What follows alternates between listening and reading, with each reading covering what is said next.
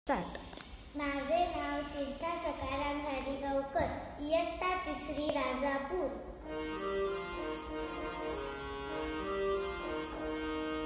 झोके